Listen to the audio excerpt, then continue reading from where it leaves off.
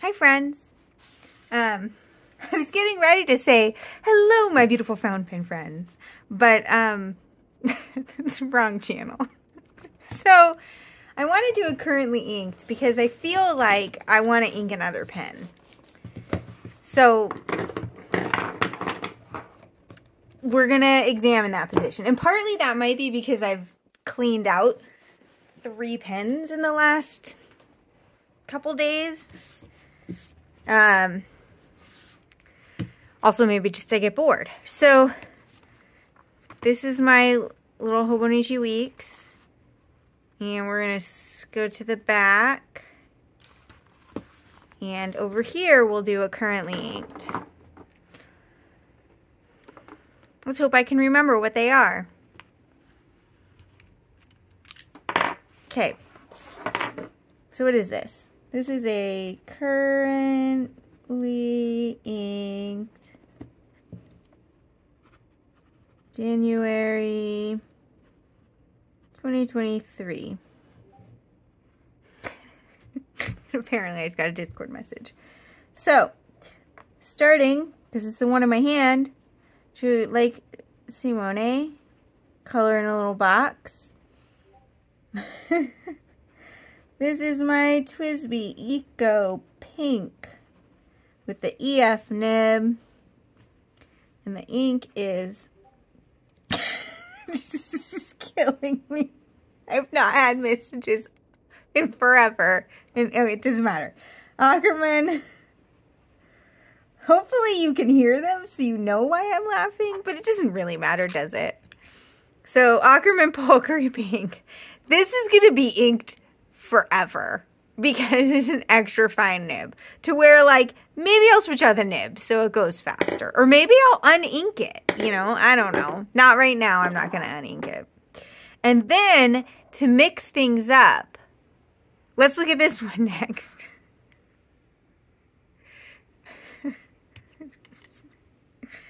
Okay. Color in the box. This is a Franklin Christoph 45 with a broad signib. And the ink is Iroshizuku Tsukiyo. So the reality is that I like cooler pinks more than I like warmer pinks. So this is a very warm pink pen. like, it's warmer than this one. But I put the cooler pink in it. Because I was like, the Polkery pink is a is a warmer pink than I had hoped for. I was like, oh, well, that's kind of a bummer. Um, and then on January 1st, I was starting a new journal, like my five-year Hobonichi journal, and I'm like, what pen? So I inked up a new pen because I was I thought, what am I starting this year with? So I went with my Santini Italia Libra and the Fifth Avenue.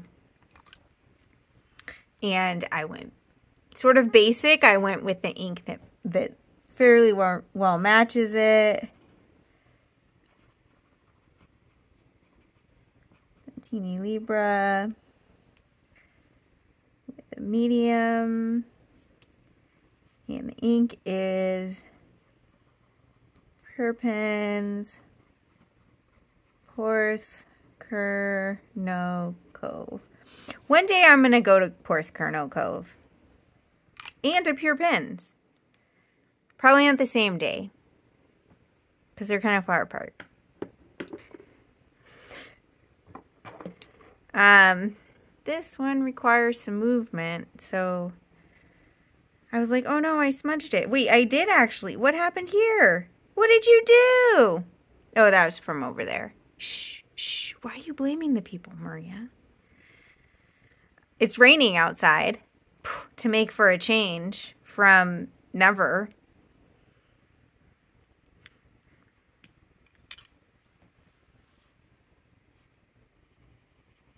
Simone, I'm glad I stole your idea. Um, this is what? Oh yeah. TWSBI Diamond 580 Iris Broad. And this is Dominant Industry Midnight. There's ink on the nib. Is there ink in the cap? No. Now there's no ink on the nib. Um, I love this one. Um, next up, we'll go to this one because it's the one I picked up. I should have done this one before that one. Uh, this is my platinum Plaisir Black Mist. I think that's what it's called. 0 0.5. It's a medium. The ink is KWZ turquoise. I like this. Partly, it's a good noise. Partly, smells delicious. Partly, I don't know, look. I should have put those in the other order, shouldn't I? It doesn't matter. I can have them whatever order I want. I'm going to do this one next, even though I could do the other one. Then we have here um, TWSBI Eco Black. Uh-oh. This has been sitting without being used for too many days. Broad. Ink is Colorverse Shiny Black, which does not like sitting. The pen and ink combination does not like sitting, being not used. When it does, it comes out looking a little bit anemic. And then lastly, because somebody wanted a review on this pen. So I've been writing with it to formulate my thoughts. My understated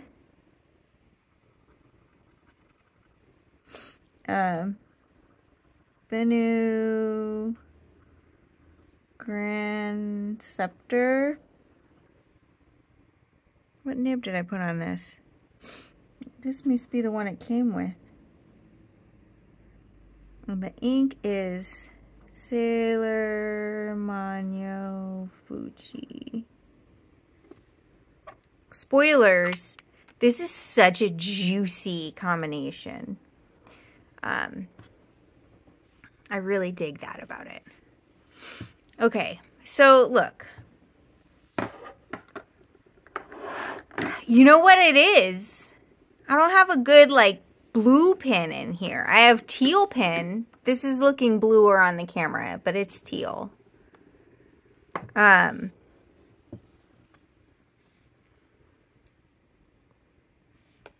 what am I missing?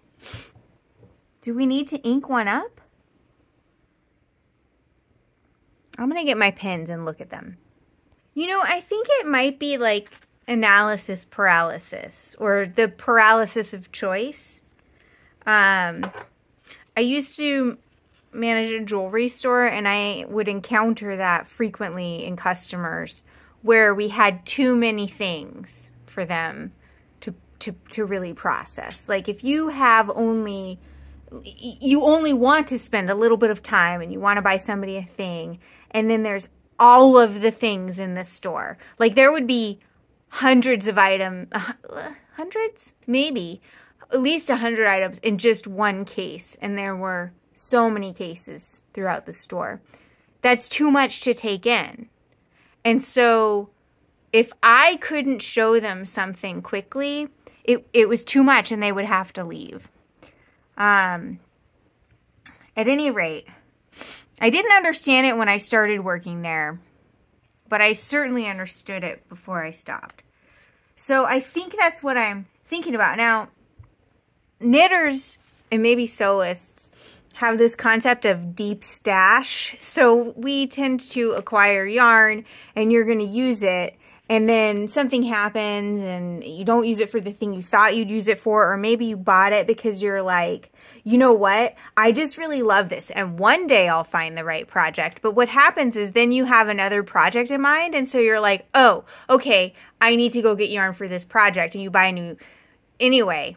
So you have stash that is a decade or more old. Um, deep stash.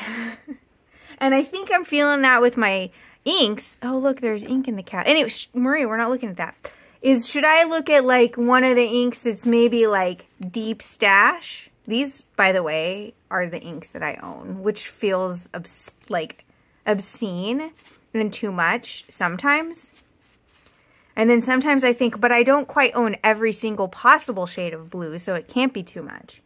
And then these are my samples. I don't actually still have all of these necessarily.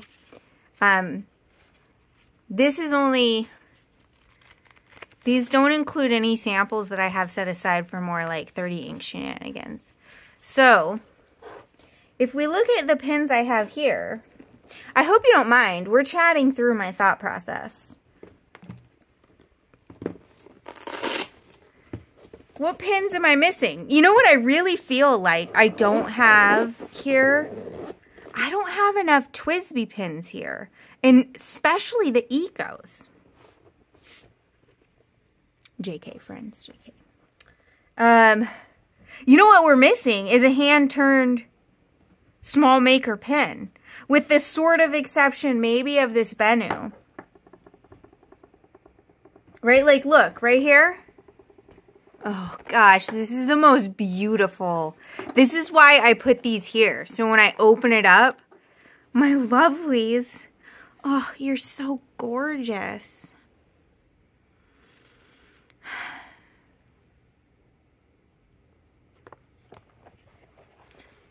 Uh, you know what I was thinking is, the other thing is to look at what was in my last currently inked. I know that some people would tell me I'm missing an orange or yellow, but let me try to promise you, I'm not missing it. So this was last time.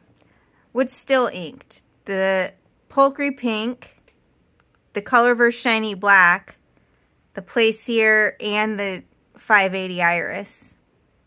I just cleaned out the Hexo, the Sapphire was maybe last week, and the, I just cleaned out the Tsukiyo, the, in my cerulean blue ego. So here's this current one. So, okay. I don't want to like, I tend to, here's a question for you. If you have to think through a process, are you an out loud thinker? Where if you can talk it through, even if no one is there, that helps you? Or are you a quiet thinker and when people talk, you're like, please, I'm trying to think. Curious, because I actually feel like that could be a relationship killer. Um, having a, a, disagreement in that space. Um, or a conflict of needs. Because I am more of a quiet thinker. So I'm looking through my pens right now and I can try and talk you through my process is is really I suppose I'm trying to convince myself to not just use one of these hand turned pens. I'm trying to say like, oh, but look at that Lamies that you have. Don't you love those? Um, oh, speaking of which, did you see the new colors of Lamies that are for, like, do you think they're going to put out the ink? I talked about this elsewhere and I was like, oh my gosh, I hope they put out that ink, right? Anyway, if you don't know what I'm talking about, sorry. Um, okay, so here's, a, this is a tempting possibility. This uh, X750, because it makes a good click, but also I replaced the nib like right before cleaning it. It had almost no ink left and I thought, well, before blah, blah, blah, maybe I'll put a new nib in it. So it has a broad nib in it now. And so I feel like I don't really know this pen yet because the first nib was like so dry and unpleasant and just not me. So that makes a compelling argument why I should use that one. Then we have these. And their compelling argument is, look how pretty they are. Oh my gosh. Broadnib, broadnib, broadnib, broadnib, broadnib, broadnib, broadnib. Hmm. Hmm, mm-hmm. Yeah. I mean, these aren't all broad nibs. In fact, wait, wait, wait. I have seven pens inked. And three of them are not broad. Look at me. Then we have my little German pen friends right here.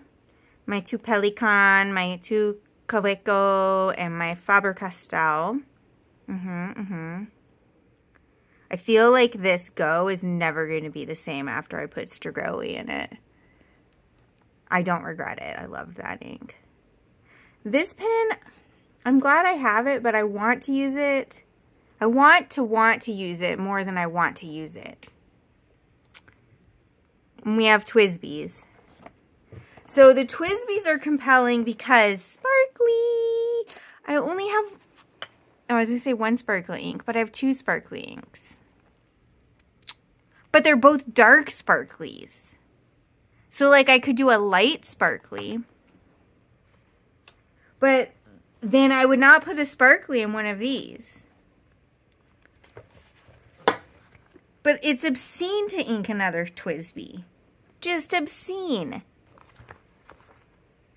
Also, like, the, like, what does it say about how expensive many of my pens are, and yet the ones that I like are my workhorses are some of my least expensive pens.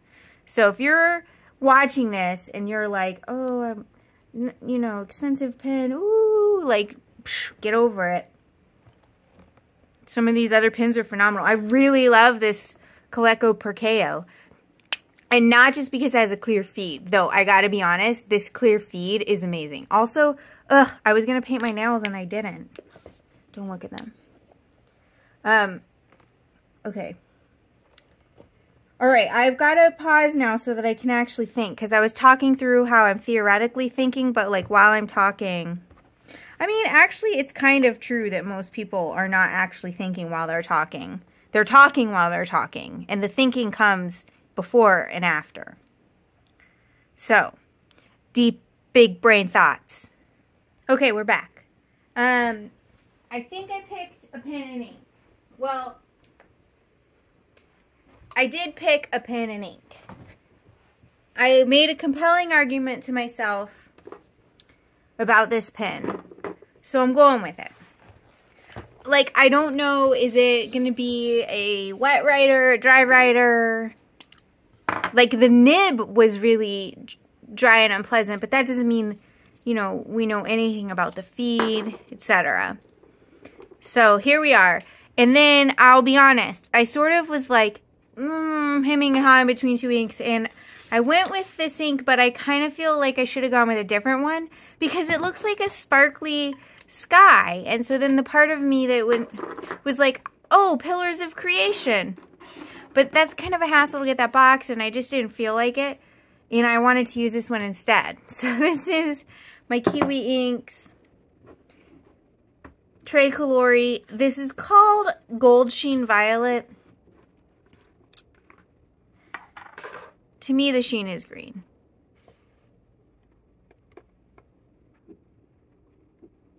Well, that was a very good fill right there. I don't know if you can see that. Oh, glorious. Great job, Maria. Great job. Okay, we're going to carefully, carefully make a mess as we try to just, mm-hmm, get some of the air out. Oh, yeah. Okay, try again.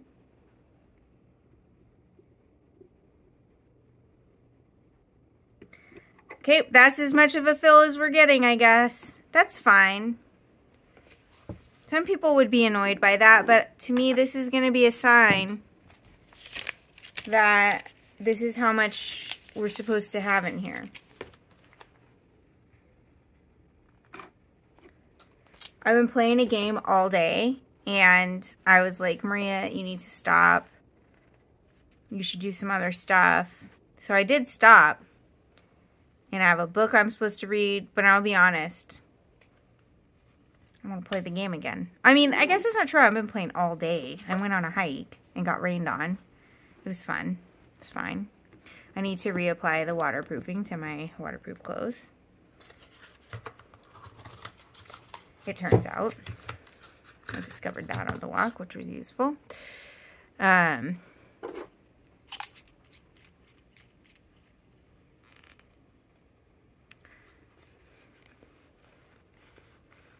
My experience with Google and the weather is that it's typically off by an hour.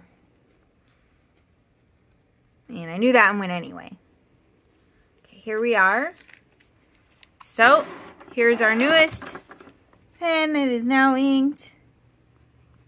So here we have a Jinhao X750 with a broad nib apparently ink on this section and the ink is Kiwi Inks Tricolori Gold Sheen Violet. Like this is like too juicy.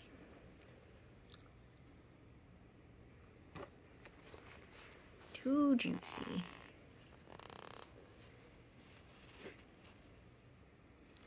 We'll see if that remains the case. It's always like really juicy right after you fill, obviously. Y'all know that. Y'all know that. I don't have to tell you. If you're watching this, you probably know that. So, this might be a very, very wet pen. And if it is, that's glorious. Because you know what's really great in really like flowy pens? These like super dry, multi-chromatic, blah, blah, blah, blah inks. Like the Sailor uh, Manyo Fuji. Which is funny because one of the other inks I was thinking of putting in here is the other one that I got. Sailor Manyo Koke. But I guess that'll be next time. So look at this though. It, the problem with these really wet writers is that this is no longer that color anymore. This is just sheen. So we'll see. I mean, at the very least, it's not super full. um, thanks for hanging out with me in this super, um, well, words fail me for the word that I was going to use. Indulgent is that the word? Anyway, for indulging me with my um, currently today. I hope you had fun listening to me ramble. Simone, I'm still missing an orange or a yellow. I mean, that's not going to be surprising, though, because I have exactly one yellow and exactly one orange. So, Golden Barrel is amazing, but it's not always that kind of a pen day. Um, I go wash my hands. Thank you again. I hope whenever you're watching this, you're having a wonderful day. Um, and take care of yourselves. Bye.